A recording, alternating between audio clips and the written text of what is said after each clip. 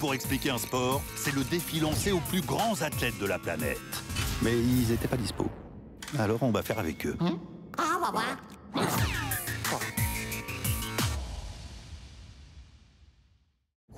En natation, on dirait pas, mais il y a plein de manières de se faire éliminer. Si on bouge d'un millipoil avant que le starter ne retentisse, on est éliminé. En relais, si on part avant que son coéquipier ne touche le mur, éliminé. Autre règle plutôt méconnue, si on nage plus de 15 mètres sous l'eau sans revenir à la surface, devinez Éliminé. On irait plus vite, mais le public ne verrait rien. Alors ben, euh, c'est interdit. Pour gagner à la brasse, il faut toucher le mur avec les deux mains en même temps. Sinon, éliminé. Hop, hop, hop. Et attention, si un maillot de bain remonte plus haut que le nombril, éliminé. Ça ressemble trop aux combinaisons ultra lisses interdites depuis 2010. Ouais, bien essayé, mais éliminé quand même. En revanche, il est tout à fait autorisé de s'épiler pour être le plus lisse possible. Démonstration. Eh oui, pour nager vite, il n'y a pas de mystère. Tout ce qui dépasse doit être éliminé. Une minute pour expliquer un sport, c'est le défi lancé aux plus grands athlètes de la planète. Mais ils n'étaient pas dispo. Alors on va faire avec eux.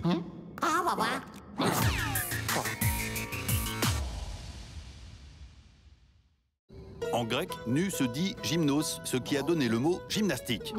Mais ça fait longtemps qu'on ne fait plus de sport les fesses à l'air. Eh oui, ça peut être gênant.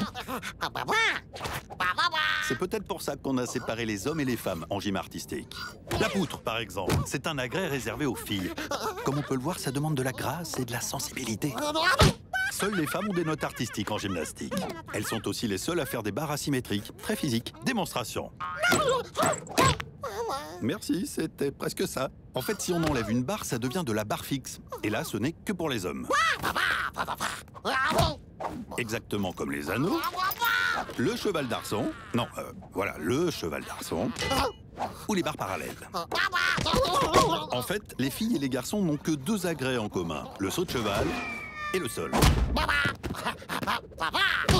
Mais là, seules les femmes font leurs acrobaties en musique. Ouais, drôle de choix. En même temps, c'est du jamais vu. Une minute pour expliquer un sport, c'est le défi lancé aux plus grands athlètes de la planète. Mais ils n'étaient pas dispo. Alors on va faire avec eux.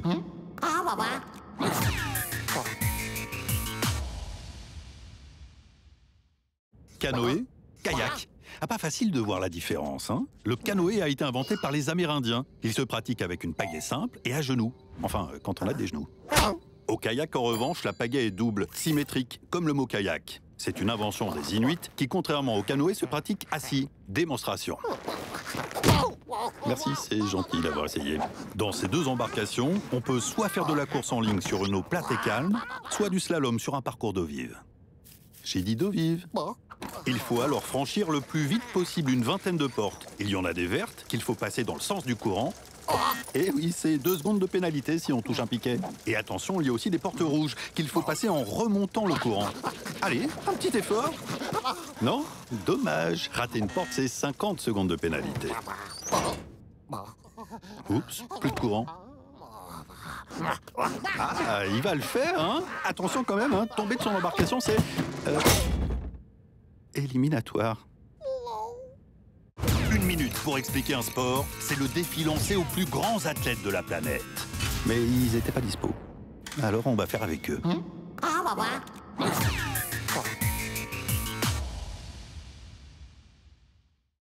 Le judo, littéralement voix de la souplesse en japonais, est un art martial où le respect de l'adversaire est... Oh non, mais c'était bien parti pour une fois. Mais non, stop Interdiction de taper Pour vaincre son adversaire, le mieux c'est de lui faire un hippon. On la grippe et on le retourne comme une crêpe sur le dos. Si ça claque bien fort, ça donne hippon. L'arbitre lève le bras et le combat est gagné. Ouais, presque. Faut juste agripper le kimono, pas les oreilles.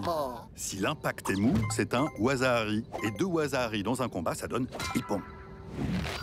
Alors si on n'arrive pas à retourner son adversaire comme une crêpe, on peut le vaincre en l'immobilisant au sol. 15 secondes, c'est wazahari. Et 20 secondes, c'est hippon. Démonstration. Hmm, non, pas autorisé. Dernière solution pour gagner par hippon, faire une clé de bras ou un étranglement.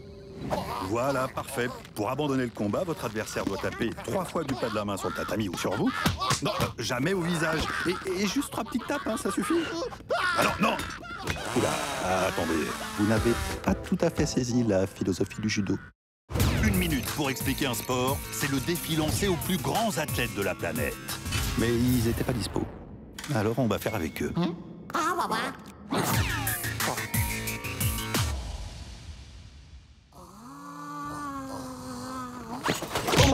Bien essayé. Mais pour faire du plongeon olympique, il faut monter au moins à 3 mètres sur un tremplin. Oh, euh, un seul rebond au bout du tremplin, on n'a pas le droit de... Oups La bonne nouvelle, c'est que perdre son maillot n'est pas éliminatoire. La deuxième hauteur olympique, c'est 10 mètres sur une plateforme de haut vol. C'est la hauteur d'un immeuble de 3 étages. On arrive en bas à près de 60 km heure.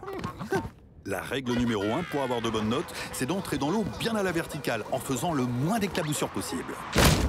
Impeccable, pas une goutte. Mais ça suffit pas, il faut réussir à faire rêver les juges avec un saut à la fois esthétique et difficile. Par exemple, on peut faire un maximum de salto. Ça, c'est la position groupée. Pas super pratique quand on n'a pas de genoux. Sinon, il y a le carpé ou la position droite qui permet de faire des vrilles. Allez, on veut du spectacle, on veut du rêve. Démonstration. Bon, son saut est nul. Mais lui, au moins, il a réussi à viser le bassin. À le vider aussi, c'est pas rien. Une minute pour expliquer un sport, c'est le défi lancé aux plus grands athlètes de la planète. Mais ils n'étaient pas dispo. Alors on va faire avec eux.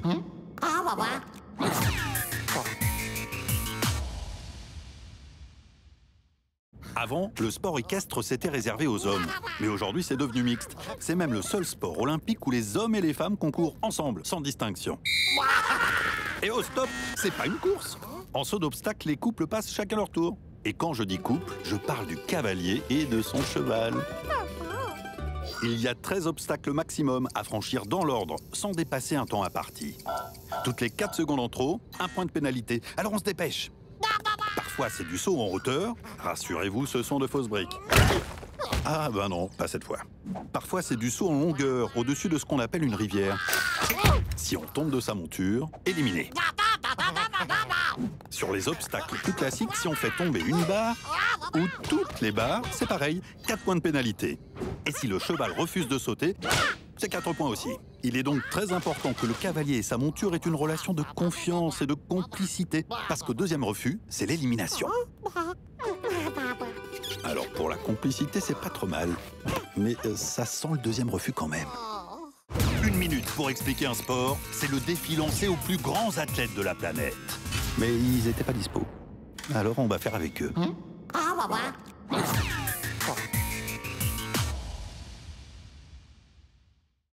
Oh oui, t'as l'air costaud, toi. Taillé pour le lancer de poids. Tiens, un boulet. Attention, ça fait plus de 7 kilos. Pour battre le record des humains, il faut le lancer aussi loin qu'un terrain de tennis. Démonstration. Oula, ça sent la migraine. Au lancer de marteau, le boulet est exactement le même, mais accroché à un câble. Le record humain, c'est presque 4 terrains de tennis. Oui, effectivement, pour prendre de la vitesse, on tourne. Ah, je sens que ça va partir loin. Ou pas. Au disque, les femmes lancent plus loin que les hommes. Peut-être parce que leur disque est deux fois plus léger. Eh, beau lancer, leur corps va peut-être tomber Ah non, dommage, le disque doit toucher le sol. Enfin, le javelot, l'engin le plus léger, qui va le plus loin, quasiment un terrain de foot.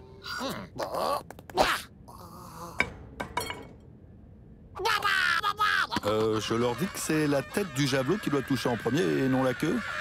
Oh, et puis non, ils ont l'air tellement heureux. Une minute pour expliquer un sport, c'est le défi lancé aux plus grands athlètes de la planète. Mais ils n'étaient pas dispo. Alors on va faire avec eux.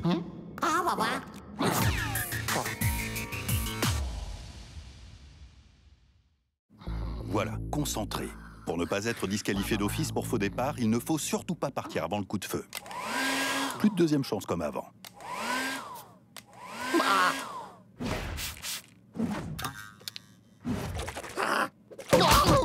Parfait, euh, aucun faux départ. En saut de haie, on a le droit de faire tomber toutes les haies, c'est pas interdit. Mais il faut au moins faire l'effort de passer au-dessus. Bah oui, démonstration. Ou pas. En relais, si on fait tomber le témoin, pas de panique, hein, on n'est pas disqualifié. Par contre, seul celui qui l'a fait tomber peut le ramasser. Mais euh, sans gêner ses adversaires. Hop, hop, hop, hop, interdiction de courir torse nu. Mais bizarrement, on a le droit de courir pieds nus. Ah, oui, pourquoi pas, même en chaussures à talons, c'est pas interdit. Enfin, c'est pas super pratique non plus. hein. Ah, la photo finish. Alors, vous deux, vous n'êtes pas sur le podium. Tendre les oreilles en avant, ça sert à rien. hein. C'est pas la tête qui compte, mais le point le plus avancé du torse, sans les bras. Voilà, comme ça, parfait. Ah, la poitrine, ça marche aussi. Hein. Mais euh, là, c'est quand même un peu de la triche. Une minute pour expliquer un sport, c'est le défi lancé aux plus grands athlètes de la planète. Mais ils n'étaient pas dispo. Alors on va faire avec eux.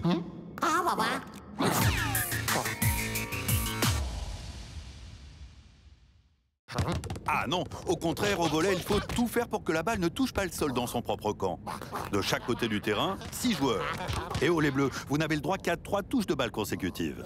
Le principe de base, c'est 1. La réception, 2. La passe et 3. L'attaque. La plupart du temps, on se sert des mains et des bras. Mais savez-vous qu'on peut désormais toucher le ballon avec toutes les parties du corps? La tête, le ventre, les pieds ou même les fesses si on veut. Et aujourd'hui, au service, la balle peut toucher le filet. Euh, par contre, pour les joueurs, c'est totalement interdit. Vous savez qui est ce joueur avec cette couleur qui tranche C'est le libéraux, un super défenseur qui n'a pas le droit d'attaquer ou de servir. Et lui, c'est juste un joueur qui s'est trompé d'équipe. Allez, assez parlé, on fait un petit match Ça se joue en 3 sets gagnants de 25 points. Et s'il y a un cinquième set, il se joue en 15 points. Un point pour les rouges. Et oui, maintenant, on peut gagner un point, même si on n'a pas le service. Allez, les rouges, vous récupérez le ballon et vous tournez. Ouh, je sens qu'il va être long, ce match. Une minute pour expliquer un sport, c'est le défi lancé aux plus grands athlètes de la planète. Mais ils n'étaient pas dispo. Alors on va faire avec eux.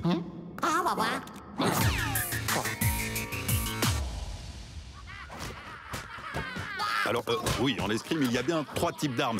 Mais euh, pas celle-là, désolé. Il y a le fleuret, qui est l'arme la plus flexible. Eh oui, ça fait mal. Il y a aussi l'épée. C'est l'arme la plus lourde. Ah bah non, rien à voir avec l'épée médiévale. On parle plutôt ici de l'épée des mousquetaires. Allez, tu sors. Et puis il y a le sabre, l'arme des pirates.